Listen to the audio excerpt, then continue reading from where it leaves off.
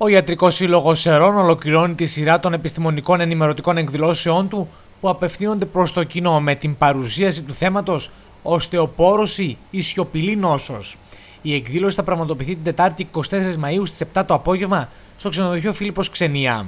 Η οστεοπόρωση είναι χρόνια πάθηση του μεταβολισμού των οστών, κατά την οποία παρατηρείται σταδιακή μείωση της πυκνότητας και ποιότητάς τους, με αποτέλεσμα αυτά με την πάροδο του χρόνου να γίνονται πιο έθραυστα και λεπτά. Έτσι προκαλείται αυξανόμενος κίνδυνος κατάγματος, δηλαδή σπασίματος των οστών, καθώς μειώνεται η ανθεκτικότητα και η ελαστικότητά τους. Η εκδήλωση ε, ε, απευθύνεται στο κοινό της πόλης των Σερών αλλά και του νομού. Είναι δηλαδή μια ανοιχτή εκδήλωση, όπως λέμε, δεν αφορά μόνο τους γιατρούς. Θα είναι μια εκλαϊκευμένη εκδήλωση από αυτές που κάνει ο Ιατρικός Σύλλογος ε, με τη θητεία του τελευταίου Διοικητικού Συμβουλίου της τελευταίας τριετίας. Είναι η έβδομη στη σειρά εκδήλωση με τα οποία καταπιανόμαστε με θέματα ευρύτερου κοινωνικού ενδιαφέροντος. Ε, το θέμα που θα αναπτυχθεί αύριο είναι το θέμα της οστεοπόρωσης. Ε, είναι ένα θέμα το οποίο αφορά ε, μεγάλες ε, μάζες του πληθυσμού, ε, ειδικά μάλιστα όπως θα υποθεί και στην εκδήλωση αφορά κόσμο, θα έλεγα, κάπως μεγαλύτερης ηλικίας. Το θέμα είναι ευρύ, αφορά πάρα πολύ κόσμο, θα υποθούν τα στοιχεία, θα σας λέω μόνο ένα νούμερο, λένε ότι περίπου ένα τρίτο των γυναικών με το μηνοπαυσικής ηλικίας θα προσβληθεί από την οστεοπόρωση. Επομένως αντιλαμβάνεστε ότι είναι, αφορά μεγάλα κομμάτια του πληθυσμού ε, των κοινωνιών μας.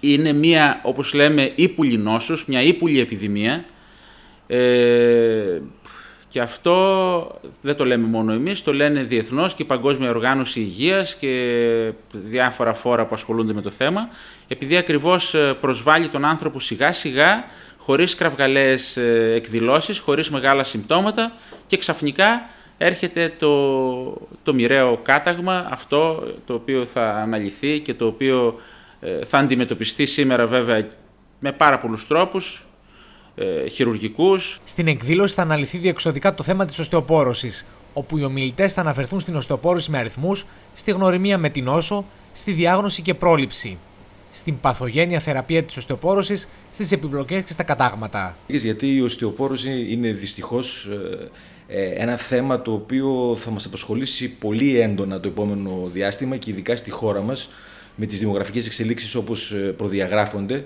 όπου φαίνεται ότι θα έχουμε μία γύρανση του πληθυσμού, οπότε η οστεοπόρωση και κυρίως οι επιλογές της οστεοπόρωσης στα κατάγματα θα είναι κάτι το οποίο θα μας απασχολήσει πάρα πολύ έντονα. Μας ενδιαφέρει πιο πολύ πρόληψη. Θα μιλήσουν και οι άλλοι συνάδελφοί μου και κυρίως αύριο στην εκδήλωση όσον αφορά την παθογένεια, τη διάγνωση, την αιτιολογία, να το πω έτσι, της οστεοπόρωσης εγώ θα μιλήσω πιο πολύ όσον αφορά την εντόπιση των καταγμάτων, αλλά ο σκοπός είναι να μην φτάσουμε σε αυτό το σημείο.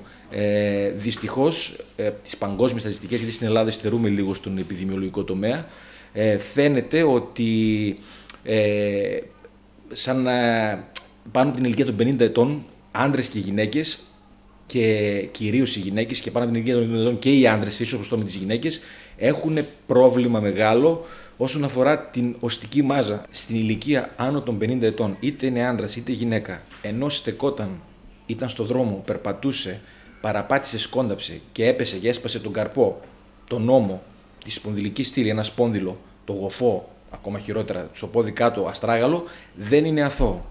Πρέπει, αφού αντιμετωπιστεί από τον ορθοπαιδικό, όπως πρέπει, ακόμα και αν ο γιατρός από ε, αυλεψία ή επειδή λόγω φόρτου εργασίας στο νοσοκομείο κτλ. δεν του συνέστησε να κάνει οπωσδήποτε μετά από ένα χρονικό διάστημα ενός με δύο μηνών από την εντόπιση του κατάγματος μία μέτρηση ουστική μάζας. Είναι πολύ βασικό και ουσιώδες αυτό. Η μερίδα μας είναι ανοιχτή στο κοινό. Θέλουμε να ενημερώσουμε για την οστεοπόρωση και να φωτίσουμε έτσι πτυχές διάφορες σχετικά με το θέμα. Θα ξεκινήσουμε αναφέροντας πώς δημιουργείται, θα μιλήσουμε για το πώς μπορεί να αντιμετωπιστεί, με ποιον τρόπο μπορεί να γίνει η διάγνωση, τι δυνατότητες υπάρχουν στην θεραπεία, χειρουργική αντιμετώπιση κατά φόσον υπάρχουν κατάγματα. Ε, αυτό που θέλουμε έτσι να γίνει σαφές είναι το γιατί είναι πολύ σημαντικό κανείς να ελέγχεται για οστεοπόρωση, πόσο σημαντική είναι η πρόληψη για αυτή την, την νόσο που την ονομάζουμε σιωπηλή νόσο, όπως έχουμε βάλει και τον τίτλο στην ημερίδα μας, γιατί διαδράμει ύπουλα, διαδράμει σιωπηλά, μπορεί να μην δίνει συμπτώματα, κάποιος να μην γνωρίζει ότι πάσχει και να φτάσουμε κάποια στιγμή να έχουμε κάταγμα που να είναι η πρώτη εκδήλωση της νόσου και αυτό να μας οδηγήσει στο γιατρό όταν πια θα είναι αρκετά αργά. Ο ρευματολόγος έχει καθιερωθεί να λέγεται ο γιατρός του μυοσκελετικού, ακριβώς γιατί πολλές ρευματολογικές παθήσεις έχουν ε, μια μεγάλη γκάμα εκδηλώσεων από το μυοσκελετικό σύστημα. Οπότε είμαστε ιδιαίτερα ευαισθητοποιημένοι και στο θέμα της οστεοπόρωσης, ως νόσο αυτούσια από μόνη της, αλλά γιατί μπορεί και στα πλαίσια πολλών ρευματολογικών παθήσεων να εμφανιστεί σαν επιπλοκή.